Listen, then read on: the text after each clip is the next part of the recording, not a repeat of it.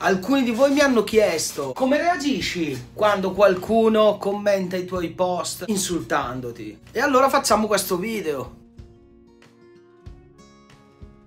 Anzitutto devo fare una premessa, utilizzo i social da quando è uscito Facebook, quindi da una marea di tempo. E un'altra premessa è che ringraziando Dio in realtà io non ci ho mai avuto dei commenti largamente offensivi, tranne alcune parentesi, quindi sono anche abbastanza fortunato. Ma al di là di quello ho avuto a che fare con gli odiatori seriali quelli che adesso chiamano haters. E allora vi spiego qual è un po' il mio modo di pormi. Perché non ho lasciato i social e YouTube per loro? Perché essenzialmente non me ne frega niente di quello che scrive la gente insultandomi. Accetto tutto, i commenti, le critiche costruttive. Siamo sempre alla ricerca di far meglio le cose, ma gli insulti proprio no. Il motivo parte essenzialmente dal perché utilizzo i social. I social secondo me sono uno strumento, sono un mezzo, non sono il fine. Faccio video perché mi piace e per condividere con gli altri l'esperienza del mio essere cristiano che vivo nel quotidiano. Non devo vendere niente a nessuno. E quello è già un buon punto di partenza. Il mio motto è non devo convincere nessuno di niente, ma al massimo testimoniare agli altri il motivo della mia felicità. Tra l'altro nel momento in cui mi rendessi conto che utilizzare i social togliesse spazio anche solo a un caffè con la mia gente,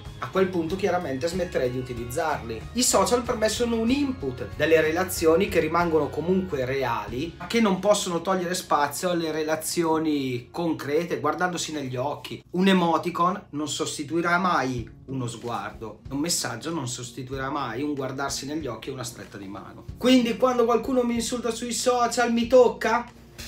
Umanamente chiaramente sì, l'avevo comunque messo in preventivo, anche se ripeto a me succede veramente raramente la rimetta quando ti esponi ci stanno critiche più o meno costruttive e anche insulti, purtroppo perché la gente è abituata a vivere i social come un mezzo per sfogarsi anche, non è sempre così, eh. Quindi punto primo l'avevo messo in preventivo. Punto secondo è solo una condivisione mia, quindi in realtà mi tocca solo relativamente il fatto che qualcuno mi insulti. E punto terzo, per come sono fatto io, magari non lo direste mai, essendo una persona che ha sempre combattuto con la sua timidezza, a volte umanamente mi tocca. Ma ho fatto anche un lavoro su me stesso, per cui ultimamente, negli ultimi anni almeno, ho sempre preso più coscienza di una cosa fondamentale. La mia vita non può dipendere dal giudizio degli altri, che sia positivo o negativo. Perché vi dico questo? Perché il metro di giudizio in fondo è quando torno a casa la sera mi guardo allo specchio e mi chiedo Davide hai fatto quello che potevi fare cercando di farlo nella maniera migliore? Certo si può sempre migliorare ma quando sei in coscienza sicuro di aver fatto il meglio che potevi fare quello è già un buon punto di partenza. Ma torniamo agli odiatori seriali. Umanamente quindi mi toccano ma fino a una certa. Chi critica gli altri specialmente da dietro uno schermo è una persona insicura. In realtà manifesta la sua infelicità. Questo mi fa pensare ancora una volta a quanto invece sono felice io della realtà che vivo. O parlo di insulti, non di critiche che aiutano a costruire qualcosa. Diciamo che quindi mi fanno anche tenerezza queste persone. Io parto dalla prospettiva che comunque ogni secondo perso a criticare la vita degli altri è un secondo perso a costruire in me stesso una persona migliore. Non voglio sprecare il tempo a pensare agli altri. Ho tanto da fare per costruire una vita, cercare di migliorarmi. D'altra parte però, nonostante io sia fatto così, gli insulti sui social a qualcuno mettono in difficoltà.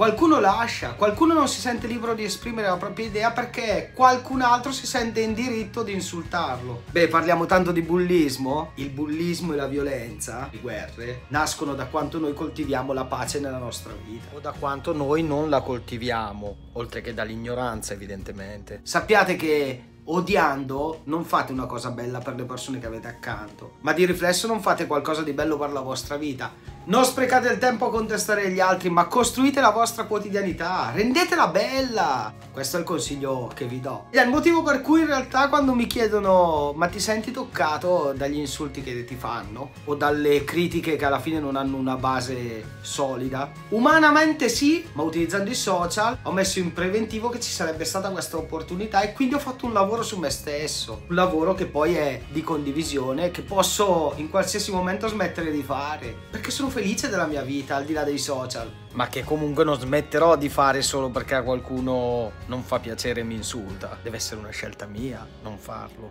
E quindi è questo il consiglio che do alle persone. Non ascoltate chi perde il suo tempo per criticare la vita degli altri. Imparate a lavorare sulla vostra, ne avrete tante soddisfazioni. Ricercate la felicità. In attesa della vita eterna, ci è chiesto di vivere il nostro quotidiano. Anche perché la vita eterna passa attraverso quello che viviamo nella nostra ordinarietà. A chi invece si incapponisce per commentare, per cercare di mettere a disagio, per insultare le persone, dico fatevela una vita. Perché agli altri, e tra gli altri ci sono anche io, non frega assolutamente niente di quello che pensate della loro vita.